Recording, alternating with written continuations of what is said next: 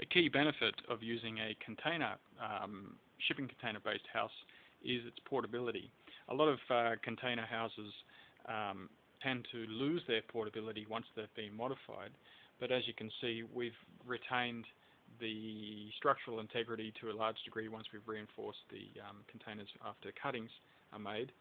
Um, the spaces are contained within the container. We haven't said to join two containers and then bridge um, the space between them uh, with, with uh, utilities and whatnot. Each container is individually uh, maintained so they can load onto a truck. But here we want to just look at the footprint of the container house.